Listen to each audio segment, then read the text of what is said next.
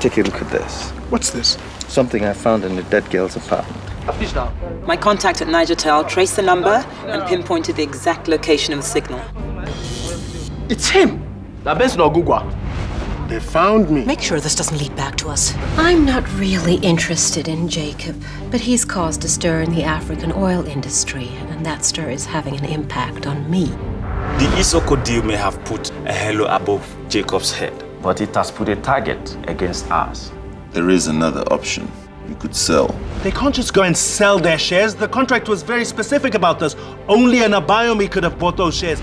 Am I talking to a 35% shareholder of Abayomi? It seem that way.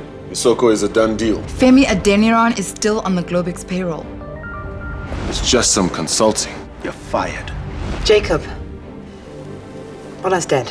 He's what? Hi, I'm Ego Asamoah, an academic with a university in Ghana. This is beautiful. Bola sold the shares before he passed on. To whom? The shares were sold to Ayo Abayomi. No. My real name is Adefemi Ayadile Abayomi, son of Ayokunle Abayomi, outcast brother of Bankole Abayomi.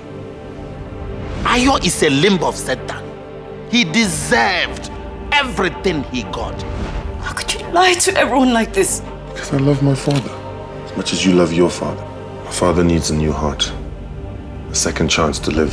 Do we have a donor? Yes, your father's operation is scheduled for next week. And I hope that you'll give me a second chance too. Do you love him? Yes. Don't ever let him go. Once love is lost, can never be found. I'll stand by you, Femi. Thank you.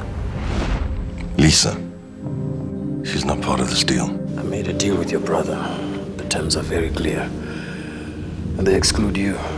Is a fling with Paul really worth it if it comes between us? My private life is none of your business. It does become my business when you start jumping into bed with business colleagues. Have dinner with me. Why? To celebrate or to make Jacob jealous? I'll pass. Chief Abayomi. This is a private meeting.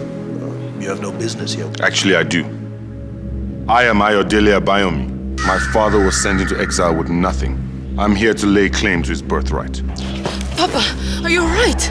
Teresa, you're mad.